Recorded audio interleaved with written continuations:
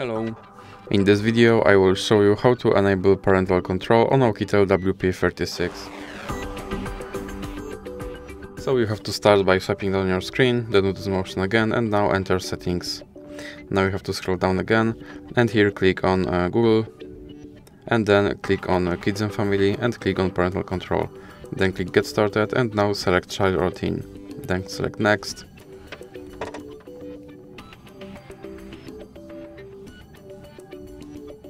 Now click on other create account for your child.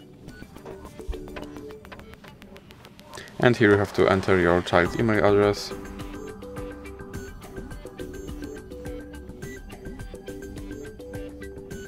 Then click next. And now you have to enter your child's uh, password. Then click I agree.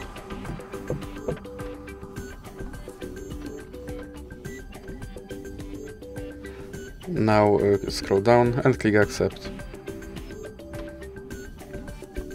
Now you have to select your account and here you have to enter your uh, parent account. Then click next.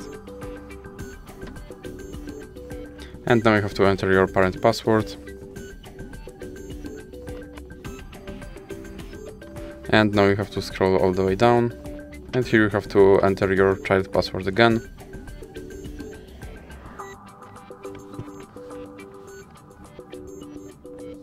Then click next. And here scroll down and click next.